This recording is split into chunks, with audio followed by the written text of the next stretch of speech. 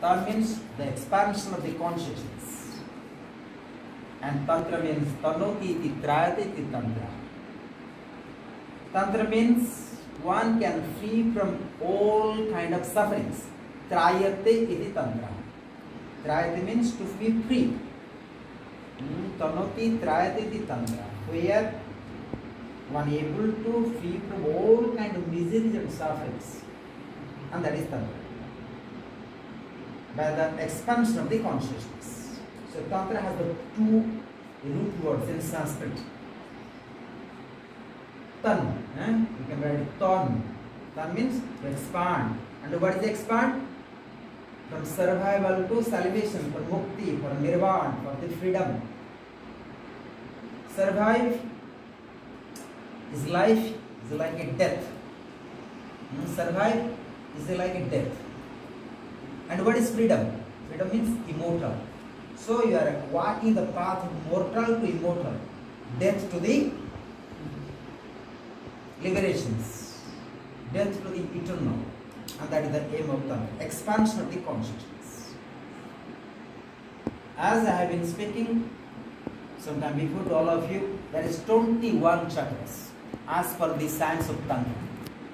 But as per the Kundalini Yoga, some people teach Kundalini Yoga, they only know six or seven chakras. Muladhara chakra, Swadhisthana, Manipura, Anahata, Visuddhi, Ajna, and Sahasra. But generally 21 chakras. Below Muladhara chakra, there's another seven chakras. So Muladhara chakra is the highest kingdom of the animal. So therefore, human being in 21st century, they're living in animal consciousness. They go to Muladhara Swadhisthana, Muladhara Swadhisthana. That is called samsara. The world of a samsara, the sufferings. And then from Muladhara to go to Sahasra.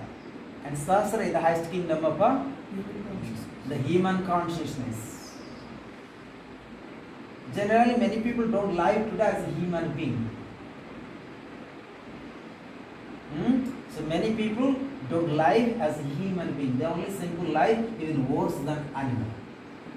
Today, in 21st century, animals are live in the forest better than human being. Right? At least they are not jealous.